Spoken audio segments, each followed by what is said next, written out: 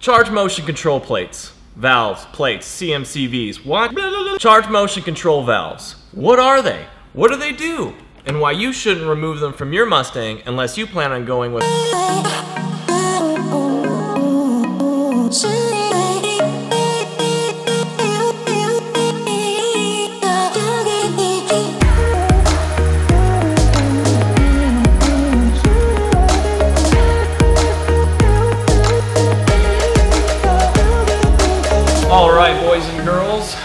I just got done removing the Ford Racing intake manifold and I'm now about to install an OEM brand new intake manifold with the charge motion valves. Now obviously you're wondering why in the world are you doing that? You just put it on. So after I finished installing the stage 2 parts, immediately got the car dynoed, and although the car is making higher peak power, I found that I lost about 35 to 40 pounds of torque in the mid-range. After I left the dyno all disappointed, I immediately started researching the purpose of charge motion valves. I sort of knew they had something to do with torque and emissions, blah, blah, blah, but honestly, I really didn't do my research. Anyway, the most interesting piece of or helpful piece of information I found was posted way back in March of 2006 on one of those really hard to look at billboard websites. And I think you guys are going to find it really interesting, so I'm just going to read you a snippet of that post. Since the mod motor's inception, its cylinder heads have always been plagued with poor charge motion characteristics, especially at lower engine speeds where mixture is critical for good torque and emissions. A series of bandages over the years from swirl dams in the combustion chamber to inlet manifold runner control and four valve heads helped matters incrementally, but never made for a satisfying meal. Now after putting up with this state of affairs for the last 14 years, be 26 now, the fix is here and it's beautiful. At the low end of the power band, the CMCV creates turbulence by inserting itself in the air path just after the fuel injector. The partial obstruction causes a tumbling action in the runner that asserts itself as a more combustible, quicker burning mixture, while the CMCV decreases its intervention as engine RPM climbs, the valve timing increases for both intake valves and the exhaust valve. What that post is saying is that the CMCVs and the camshafts work together to increase torque in the low to mid range. But let's talk about what specifically the CMCVs are doing to achieve that. Now here you can see the charge motion control valves fully closed, and here they are fully open. Now what are we looking at? We're looking at the bottom of the intake manifold, and each one of these represents the bottom of an intake runner. So we got four on this side, four on the other. And then on the S197 three valve, well, there's three valves. There's two intake ports and one exhaust port. So you can imagine an intake port right here valve and an intake valve right there. You can see when it's fully closed that one valve is completely blocked off while another is like 60% blocked off. Effectively what this is doing is increasing the back pressure in the intake manifold and thus increasing the speed at which air will come through here by decreasing the diameter.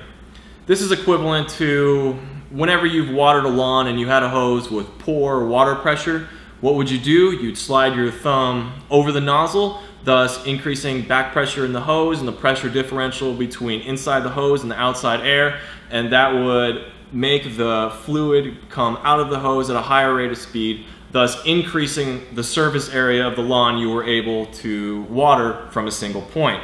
So this hole right here you see is where the injector sits. This is where fuel's coming in, right?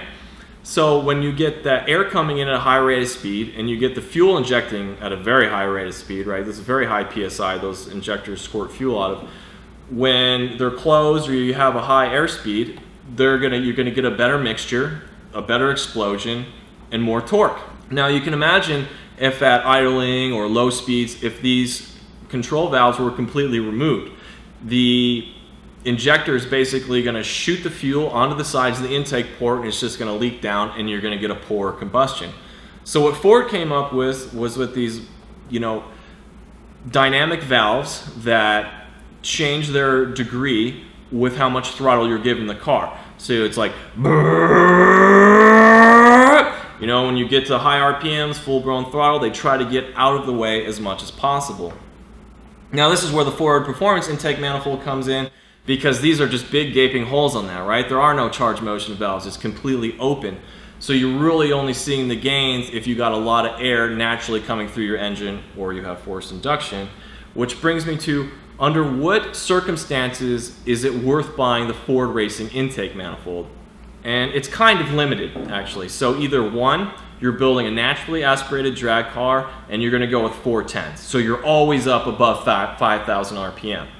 The other is if you're gonna go boost, but specifically you're getting either a ProCharger or a turbo. Because when you get either of those configurations on your car you're keeping a man you still need an intake manifold which is unlike a supercharger you know a traditional twin screw supercharger that sits right on top of the intake manifold.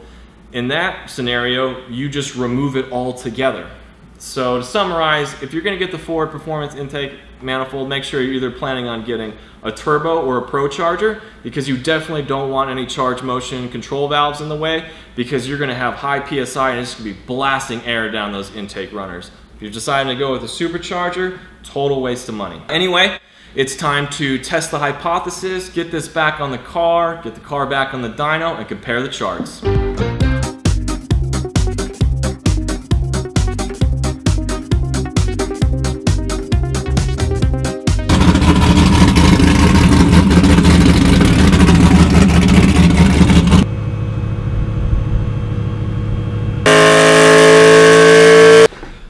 Just got done overlaying the dyno chart so we can do a thorough comparison rather than just looking at peak numbers. What we're going to compare is the stage 2 numbers, obviously, with the stock intake manifold versus the Ford Performance intake manifold versus the stage 1 numbers we did last summer. Now all of these runs have been done on the same dyno and for my keen viewers out there who noticed that the Mustang was actually on a Mustang dyno in the last video.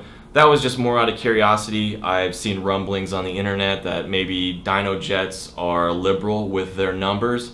That wasn't what I found. It was a difference of like 9 horsepower. But whatever, forget all that. Why don't you guys jump in here and let's compare some dyno charts.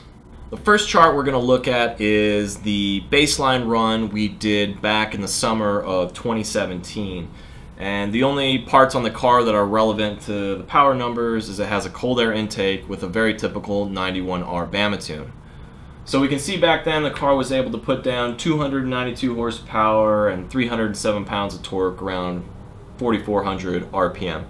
Pretty predictable, pretty respectable numbers for a 4.6 liter with this configuration. The next chart I'm going to show you has all the stage 2 parts on the car which includes the long tube headers, X-pipe, one-piece aluminum drive shaft, the new throttle body, and the Ford Performance intake manifold. And it's also running another Bama tune. You know, you log in, you put it on the parts you have in the car, and then they send you the new tune. Now immediately you can see this is very disappointing. While the car did eke out 10 more horsepower, uh, peak horsepower above 5500 RPM for a grand total of 302, I lost 13 pounds of peak torque at 4400 RPM. Now I know earlier I said I lost 35 to 40 pounds of torque and now that I'm really taking a close look here I can see it's more like 20 to 25 but when you dump that much money into your car that looks like the Grand Canyon. Now some of you might be saying well if you're going to get that intake manifold you need to get camshafts. If I do get camshafts all my power gains are going to be above 5,000 RPM and all I'm going to do is lose more torque in the low to mid range. So I guess it's just more of a question of how you want your car to run. The next chart I'm going to show you is the exact same configuration on the car except I've swapped out the Ford Performance intake manifold for a brand new stock OEM one with the CMCVs we can see that there is a significant improvement over both previous charts in torque and horsepower throughout the band. While there is some compression of horsepower in the top end, this is significantly better. The car was able to eke out even a few more horsepower for a total of 305 and our torque increased to 316 basically at the same point at 4400 RPM. Alright, so these are not the final stage 2 numbers. I've since had the car retuned by somebody else, actually the same person who built that filthy sounding Z06 he did a great job. I'm super stoked on the results. The chart looks way better than any of these and I will reveal those in the next video which will be, I promise, the stage 2 video. Hopefully you can see now there's why there's been a delay between videos and why I haven't been putting, you know, updating you guys on the power numbers. I've been trying to solve this problem here. I gotta wait for parts to come in, I gotta wait for a dyno spot to open up, I gotta wait for a tuning spot to open up because everyone's bringing out their toys right now. Anyway, in that ne next video, we'll reveal the official power numbers, acceleration numbers, we'll talk about how the car feels and what's going to go down in stage three. So if you're interested in seeing all that, you know what to do, and hopefully I'll see you next time.